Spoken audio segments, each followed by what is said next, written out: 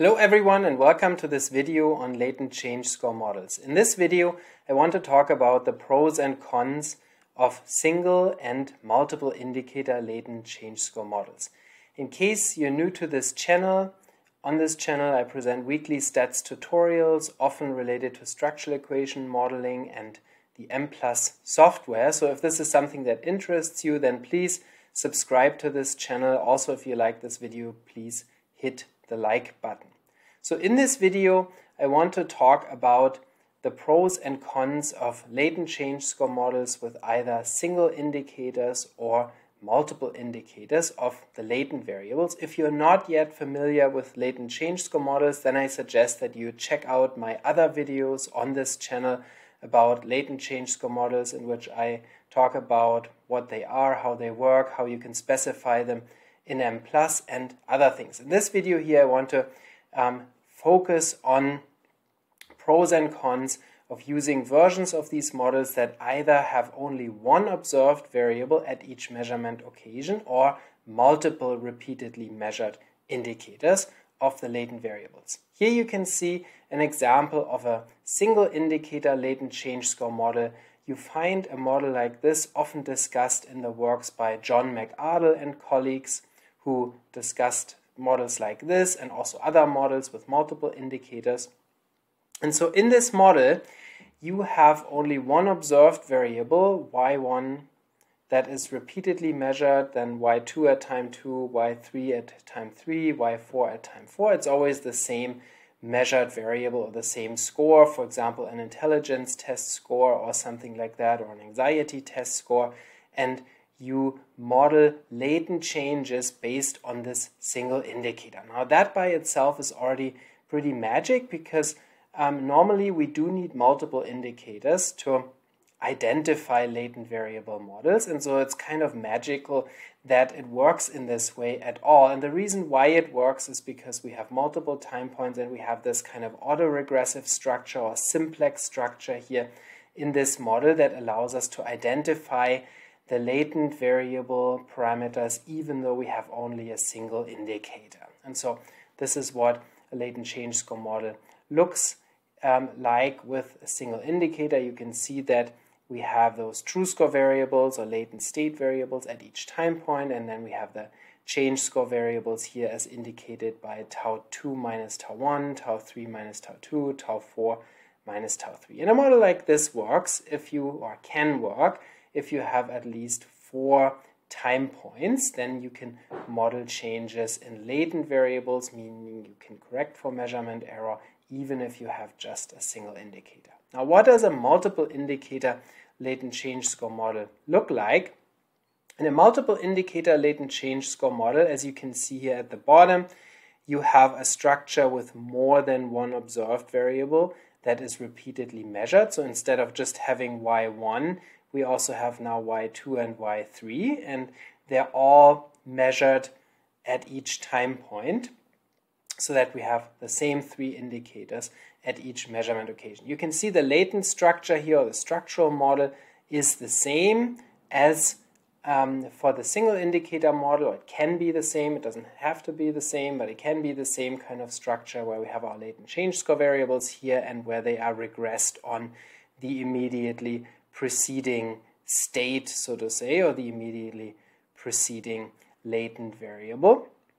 And we have these residuals as well here because um, the latent change score variables typically do not depend perfectly on the previous state. There's some residual variance in these. So this is what a multiple indicator model looks like, and you find this discussed a lot in works by um, Rolf Steyer and colleagues, also Tenko Raykov, who focused more on multiple indicator models than the group um, around John McArdle. And so you'll find that in the 90s already, Tenko Raykov and Rolf Steyer published latent change score models with multiple indicators. And the question then, of course, that many people ask is what should I use? Should I go with this approach that has just a single indicator or a single sum score, or should I use multiple indicators? And so I want to now discuss some of the pros and cons of each approach. So obviously, with a single indicator model, Probably the biggest advantage or the most obvious advantage is that you only need to have one measure that is repeatedly observed. So one score, one test, one questionnaire, one item, or something like that. And of course, that can have advantages when it might be costly to do a longitudinal study with multiple indicators. Furthermore, as you saw on the slide, the model is a little bit more compact and less complex due to having only one indicator at each time point. So this makes it maybe easier to specify, a little easier to report in a paper or something like that because the model as such is smaller. But that's already pretty much where the advantages of single indicator models end, in my opinion. So I couldn't really think of a lot more advantages of that approach, but I could think of a lot of cons actually of those single indicator models. So, what are the cons? First of all, you need to have at least four time points for identification of such a model unless you make very restrictive and fairly, fairly unrealistic assumptions about the model. So that is something that could be a downside if you can't collect data on four time points. Also, when we have many time points, oftentimes people drop out, you have more missing data, so that could be a disadvantage. And even with four time points, the single indicator approach requires potentially unrealistic constraints to be implemented for identification. For example, you have to put constraints on the error, on the measurement error variances. You have to constrain them to be time invariant for the model to be identified, or you have to put other constraints in that may be unrealistic also, having equal measurement error variances in longitudinal studies is something that, in my opinion, often does not work, is not realistic. Oftentimes, the error variance could be a little bit higher at the first measurement occasion when people have to get used to the procedure. And so, this is often something that we don't see in empirical data, that we have the stationarity of the measurement error variances. So, that could be violated. However, you have to have that constraint or another a similarly unrealistic constraint in the model, otherwise it wouldn't be identified.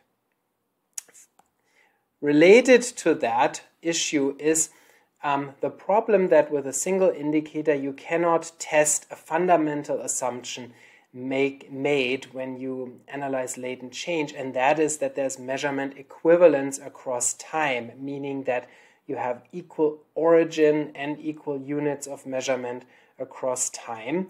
So intercepts and factor loadings should be tested for measurement equivalence. However, in the single indicator model, the intercepts have to be fixed to zero and the loadings have to be fixed to one at each measurement occasion for identification. So these are forced to be the same across time, so they're forced to be invariant. However, this isn't a testable constraint because these constraints are required for the model to be identifiable. So we can't really test that we have measurement equivalence across time. We just have to assume that that is the case. Furthermore, in the single indicator approach, you have to have this kind of autoregressive structure for identification. So you cannot just simply allow those latent change score variables to all be freely correlated. You have to have a specific structure where the change score variables are regressed on the previous state because that kind of autoregressive structure is also required for identification. Now, that's not necessarily a bad thing or an unrealistic thing. However, it is some, um, it makes the analysis less flexible than if you could just simply allow those change score variables to be freely correlated if you wanted to do that. The model also implies that the one and only measure that you are using or the one item that you're using is kind of the gold standard, that there's nothing else, so to say, that needs to be looked at. This is the score that um, defines the construct, and that could be fine, that it could be realistic or not. With a multiple indicator approach, you could see kind of which of the measures is the one that maybe should be used or there is a marker indicator or how different different measurements are, different items are in terms of their uh, representation of the construct. And so this is not something that you could test with a single indicator. You simply have to assume that this is the um, way to go, that this is the indicator that you should use, and you can't really study differences between different indicators. Also, in my experience with a single indicator, even though identified in principle, this model tends to be less stable when you estimate it, meaning there can be more uh, frequent estimation problems with this model than with a model that uses multiple indicators because the the uh, identification of a single indicator model is kind of shaky when we have only one indicator of a latent variable and we estimate a lot of latent parameters then naturally this can come with a higher rate of estimation issues. Now let's talk about something positive again. What are the pros of using multiple indicator models? Multiple indicator models, maybe the most serious advantage is that the model adds flexibility in terms of the number of time points required. When you have multiple indicators, you can do a change score model already with just two time points. You don't need to have four. So it's already identifiable with just two time points. And that's a big advantage, as we know, because longitudinal studies can be costly. And so fewer time points could mean an advantage. You also are not required to put so many constraints, especially not ones that are um, unrealistic or that could be unrealistic. So, for example, we don't have to constrain error variances to be equal across time for the same indicator. That is not a required constraint. If it is a constraint that holds true for your data, then that's great. You know, you can test it. You can see if you have equal error variances across time. If you do, then that saves parameters and you get more degrees of freedom and that a more parsimonious model. So it's definitely not bad, but it's not something that uh, you are required to have in there. And with multiple indicators, you can test whether measurement equivalence holds across time or not. Because with multiple indicators, you can test whether the intercepts and factor loadings of non-marker indicators are time invariant or not, whether they vary across time or not. That can be formally tested in terms of, for example, chi-square difference tests, nested model tests, and stuff like that. So that's a big advantage because it allows us to test an underlying assumption of latent change score analysis. We also don't have to have a regression structure in the structural part of the model with multiple indicators, meaning you don't have to regress the change score variables on the previous state if you don't want to do that, because you could just simply estimate all the covariances among the change score variables and all the covariances of the change score variables with other with the state variables those could just all be freely estimated instead of having this um, more restricted autoregressive structure and then since you have multiple indicators, you can also study their heterogeneity. So when we have different indicators, they might reflect slightly different aspects of a construct or more different aspects of a construct. And this is something that you can then examine as opposed to having just one indicator where you have to just use what you have. Here in this case, you can then find out how homogeneous the indicators are, what different facets of a construct they might represent, whether they're method effects, indicator specific effects, and something like that. With multiple indicators, you also have a greater stability in model estimation on average. There are fewer problems that happen in my experience and also as shown by simulation studies when you have multiple indicators. As long as those are good indicators of your latent variables those models tend to be more stable than models that have fewer indicators or only a single indicator. There are also some cons though to multiple indicator models. One is that obviously you have to have more than one indicator. So sometimes that's not possible. Sometimes you have studies where you're so limited in terms of the funding or the time that you can administer only one item per construct.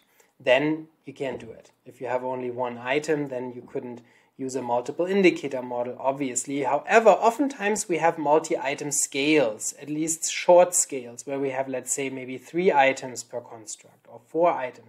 Then maybe you could use the items as indicators um, of latent variables so that you still could go with multiple indicators.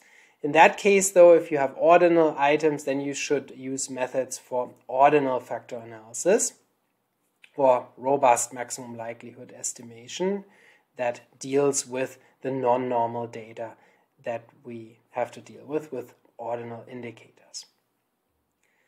Also, multiple indicator models are more complex. You have, due to having multiple indicators, you have a larger model. You also have potentially heterogeneity in your indicators, which means you might have to include method factors or indicator specific factors or something like correlated measurement error variables across time to account for indicator heterogeneity. That can make your model more complicated. It can also be harder to fit it or to, to specify the model in a way that it fits well. There could be some interpretation issues when you have correlated errors, and so it just becomes more complicated. And that's maybe the biggest downside of using multiple indicator models. In summary, though, I would argue that multiple indicator models are the way to go because they add more flexibility to your analysis, they are more stable, they allow you to find out more about your data than single indicator models. And so, whenever possible, I would say prefer multiple indicator models. And that's, by the way, not just something um, to think about when you run latent change score models, but also with growth curve models. Growth curve models can also be specified for multiple indicators, and all the advantages are basically the same, um, like the ones that I discussed here when you use multiple indicator or second order growth curve models instead of single indicator growth curve models, you have the same advantages um, as here for the latent change score models. And similarly, when you do something like autoregressive models, when you do latent state trait models, it is generally beneficial to use multiple indicators for all these classes of longitudinal models. I hope you liked this video. This was maybe a somewhat controversial topic, so if you have a different opinion, if you have some pros and cons that I forgot to mention here or that um, that uh, you have a different opinion about, then please leave a comment in the comment section. Don't forget to subscribe to this channel, like this video if you did like it, and check out the description for additional resources. And I'll see you next time.